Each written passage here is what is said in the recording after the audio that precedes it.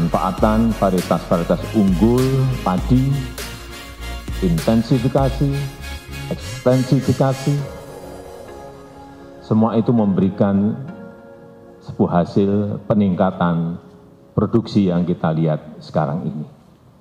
Medcom.id, a part of Media Group Network.